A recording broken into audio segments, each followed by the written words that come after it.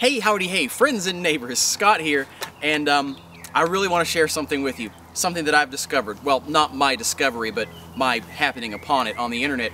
It's one of these home remedies for um, peach trees, apple trees, the fruit trees. It's a foliar spray that you can make yourself. It's super simple.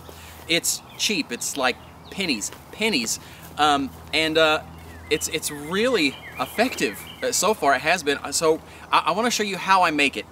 Um, and all you're going to need is some clippers, a bucket, and a tree that a lot of people consider to be a, a junk tree. This is an eastern red cedar. It's a Juniperus cedar. So um, let's take the lid off my bucket and let's make this. All right, so the first thing we're going to do is we're just going to clip off a bunch of these cedar branches here into our bucket until we fill it up. All right, well, that looks pretty full. So the next thing we're gonna do is take this home and fill it with water.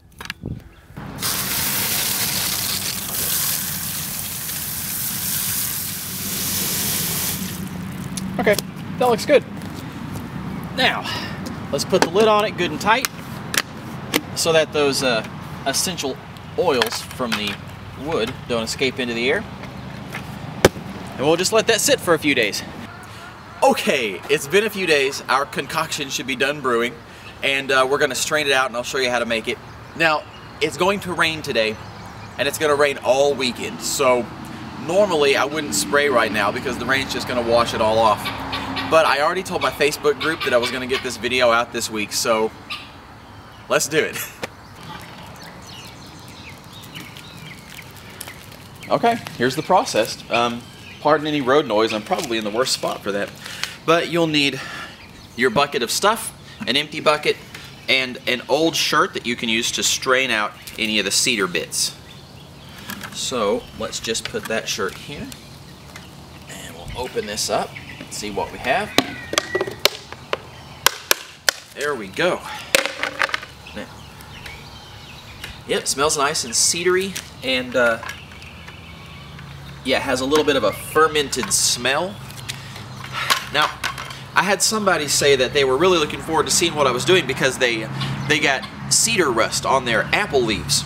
And this is made with cedar, so you might think, now wait a minute, won't this carry over any of the cedar rust to your plants?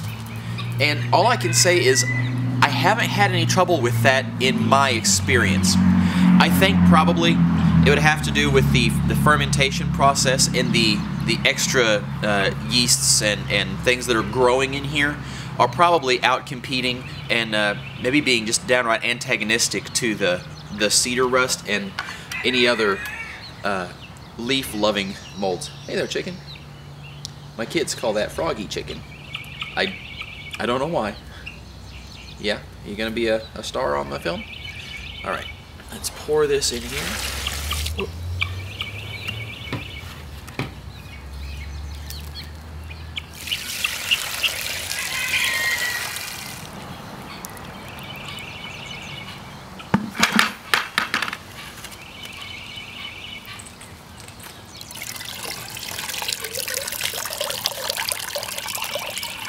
And you can see the water is a nice yellowy color from whatever used to be in there. All right, next step. So now we can we can put the lid on that and we can store it for a while. I don't know how long it stays good, but um, I've sprayed mine once or twice a week, and I get about three three uh, applications out of this. So I mean, it's good for at least a week and a half or maybe up to two or three weeks, it seems to be. Although you may need to restrain it if it grows more boogers on top. So we'll just pour this into a little hand pump type sprayer.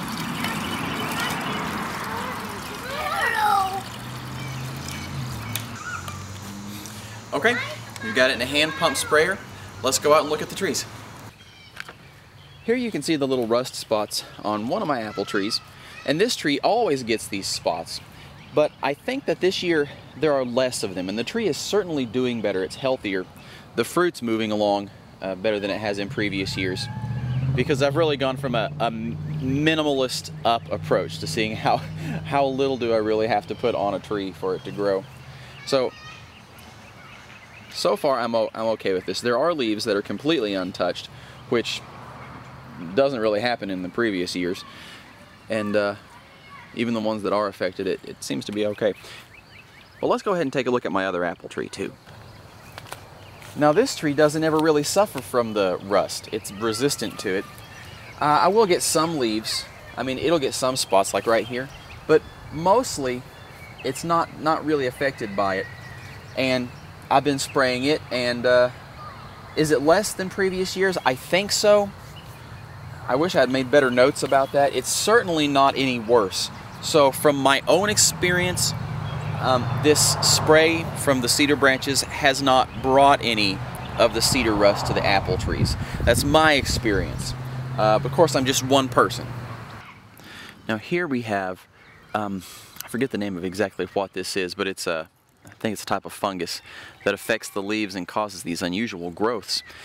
And this is the, I think the epicenter this year of where this is taking over. And this, this can get really bad. It doesn't kill the tree, but then the tree has to regrow its leaves and so it's not putting that energy in the fruit. But the spray has been real effective here. This was the worst spot and now it's really my only remaining spot of this stuff. It's cleared up everywhere else and this was the really affected area.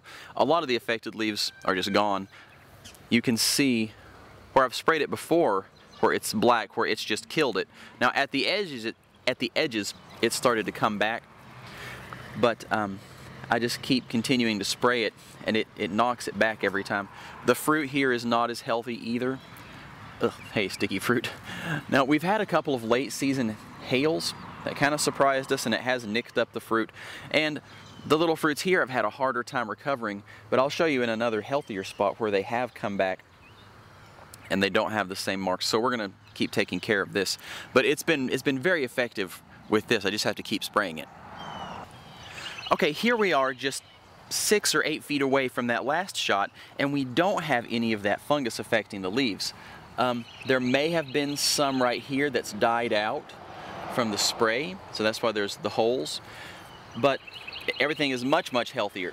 There is, see this is leaf damage from the hail and that one may be having a little trouble recovering from it because the hails, the hails, they were real, they were rough. Um, I had seen one before where it, it was healing over though. I guess I don't have that, well I'm sure this is out of shot, but there's one up here. Let me see if I can look up here. Okay, this one you can just see it where it took a nick and it's it's healing over. So that will always have a spot as it grows that won't go away, but it is it is recovering from that injury. So this is a healthier tree. Those are the remnants of a webworm nest. Now webworms are fun to watch and I really I really hate getting rid of them because I think they're pretty cute. but they were eating up the leaves on my trees.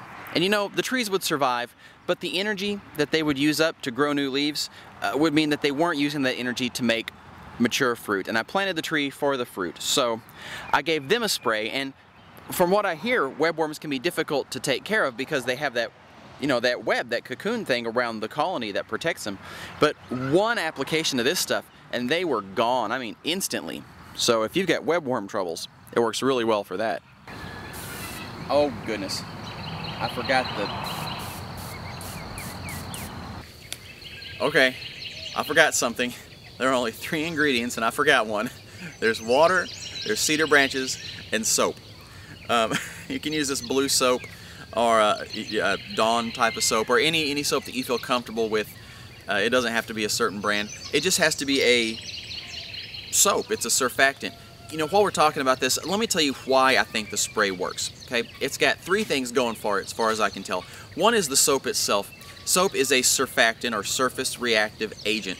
Uh, that means that it lowers the surface tension of water allowing it to slip into tighter little nooks and crannies and spaces. In effect, it makes water wetter.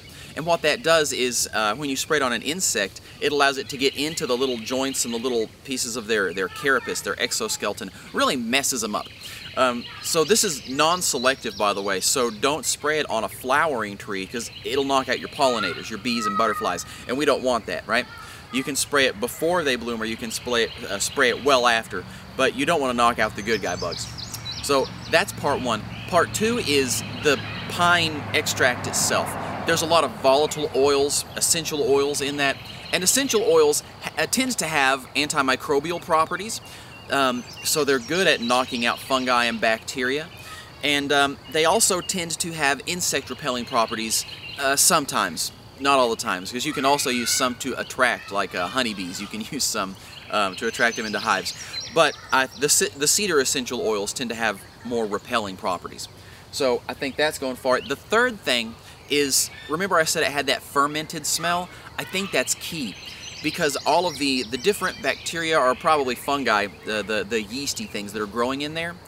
Um, I think that when you spray that on here, it's not the same as what's attacking the tree, and so it, it creates competition uh, so that the, uh, the stuff you spray can't live on the leaves, but while it's there, it's getting in the way of the other things that are attacking your leaf and attacking your fruit, and it, it just it messes up their day where they can't do the things they need to. And the things you spray on them, they may be actively antagonistic. They may be trying to chew up and eat the things that are on the leaves too. I don't know specifically, you know, which which little microbes you have in your bucket, but that's what's working for me.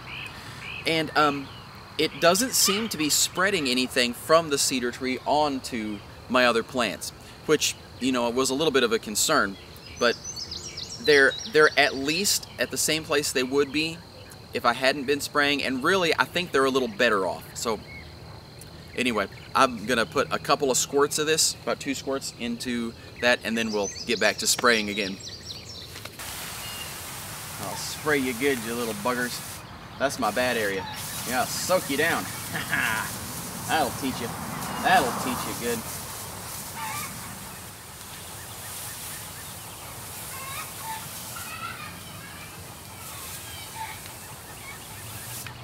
Now you notice I'm not wearing a mask because it's basically just soap and cedar water.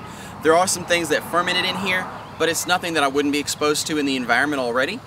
And, um, and there's no, I was gonna say there's no synthetic chemicals, but there is that blue soap, and I, I don't think the soap comes out naturally that bright blue, right? But um, there's basically, basically no synthetic chemicals in here. Um, so I'm not, I don't have the same concerns as I would with a synthetic pesticide or, or fungicide. Um, all right, I'm not gonna move the camera around with me every time I go through here, so I, am gonna go through and, and just spray, and then I wanna catch up with you with one particular anomaly that I'm looking at. Okay, so is this spray safe for all plants? That's a really good question, and I don't have a perfect answer. I've sprayed it on a lot of things, and so far everything seems okay except for one anomaly. This is a mulberry that I planted, and I haven't sprayed all the mulberries because I usually don't have any trouble with the mulberries. They're fine, and they're not old enough to make fruit anyway, so it doesn't matter if they lose a few leaves. This mulberry is right in between, it's real close to these two peaches, so it's getting some, some drifted spray. And it has these brown dead spots on the middle of the leaves. Now, was it from the spray? And it has a weird, this one's curling, and this one's curling. Was it from the spray? I'm not 100% sure. I have a suspicion that it might have been, of course. So I'm going to do a little test. And I mean, it kind of looks like, you know, the spray drifting down, touching different places. That, that could have had an effect. So I've gone ahead and today I've sprayed another mulberry tree, um, just part of the tree, with some of the spray. And we're going to see if it has any of these same symptoms uh, or if this is going to end up being something different. But like I say, so far I haven't really had any trouble with the leaves on the mulberry trees. They've always been very healthy. So we'll find out and I'll be sure to update you either in another video or in the, the comments or description for this video. I swear, that is the same truck that went by before. This road is never busy except when I'm making a video. I can summon cars. Okay, so summary. It's just water, cedar branches, and two little squirt squirts of soap and spray it on stuff. It seems to be safe for most of my plants. We're going to check out that mulberry. It's been really effective on webworms and stuff that bothers my peaches. We're going to test it on June bugs when it gets to that time of year and last year we had a plague of June bugs so I'm going to have plenty to test it on. Also my kids are screaming but they're fine, they're just throwing a fit and uh, on apples I think that it's effective but I'm going to keep watching it. Also on pears, I didn't show you the pears but they're, they're kind of the same. They get that um, um, I don't know if they've really officially had fire blight or not because that's pretty serious stuff, but they've had they've had some trouble with some stuff. Uh, but I'm gonna, I'll keep them sprayed, and as I learn more, I'll let you know. I just really wanted to share this with you because it's so cool, and it's been, it has been so effective. And um, yeah, I, I hope that you'll give it a try. I hope that it'll be just as effective for you. And until next time, keep your eyes out for plants and zombies and cars that you summon when you turn cameras on. See ya. I'm gonna go check on these screaming kids.